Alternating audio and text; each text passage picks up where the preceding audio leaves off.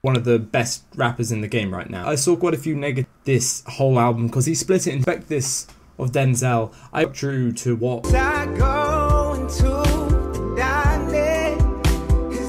and artist of this album. If you are looking for some more and uh, Super Saiyan as well, both of those view when I first listened to who's been molested as it. But there we go. Thank you very much for watching. Adios on the internet and it really only seems to be on the internet. I don't I've never met another person no wave uh, that that that overwhelmingly negative.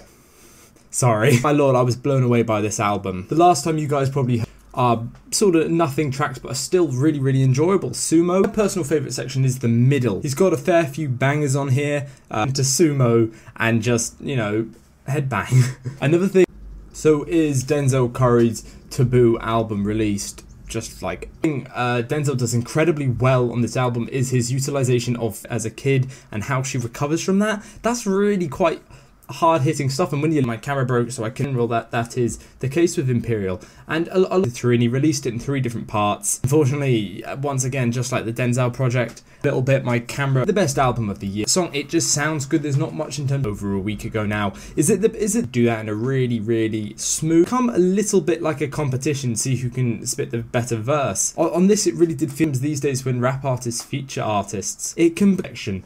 Uh, I still really, really enjoy them. Sometimes it's nice to have a little bit of a break. Uh, these two songs, they sound quite well. So for me, this was an astounding album. I already really liked Denzel, and I was so excited for the project. But I'm, I was blown away and so superb. But it, it is very uh, reliant on its instrumental sensitive uh, comments there about um, Denzel talking to a girl who who stressed heavily enough. Denzel on a song came out and um, well, since then I've had to go through and listen to his in the past, like Imperial is vocal heavy stuff. Then I suggest the first part of the album. But my, my review of it, apology, uh, yeah, it's, it's been a bit of a mess. But for me, songs like Clout Cobain, I originally gave it, I wouldn't say a negative review. because of that if you're another artist who's really become quite popular now on here, I think it could be. We've already had some fantastic albums. I've never thought of him as like a super in- intelligent. He is fantastic. So take this as sort of lyrical ability. Like he doesn't use loads of all the features on this album are really good verse, but even still, Denzel holds his own. Sometimes the closest I would say is Jid.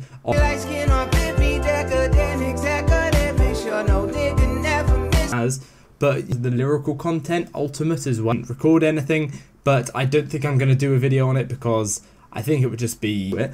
But I definitely was not so keen.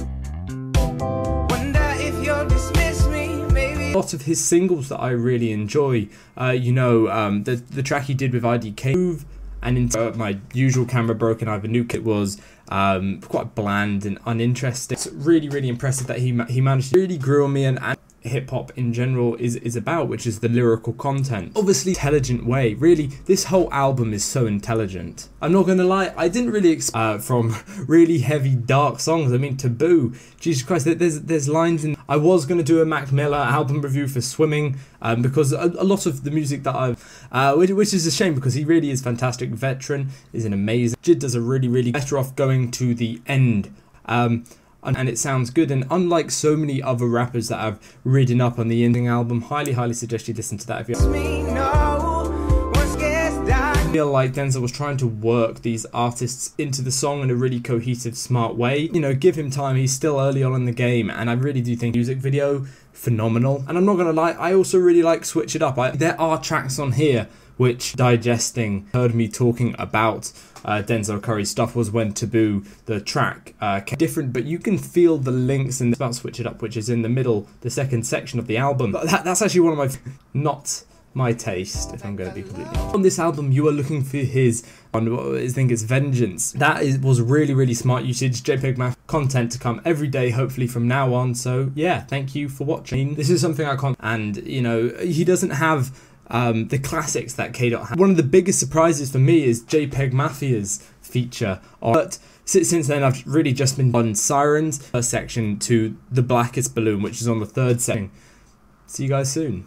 Oh, before I go, on the hook, and I thought it favorite songs, especially the hook. It's so goddamn catchy. There's albums this year. I'm not gonna, you know, say with his. Personally, there's only one other album I really think might be better than it, but also this really nice transitional song i guess you could call it uh, black balloons which is on the first listen to that you know you're put in a certain mood and then sometimes it's nice to just then go and geez this has come out so late once again my camera broke and uh, top all of them. I'm sort of in between that. Thank you very much for watching. I hope you have enjoyed more. Uh, the, the lyrics in general on songs like Sirens and Clout Cobain are insane.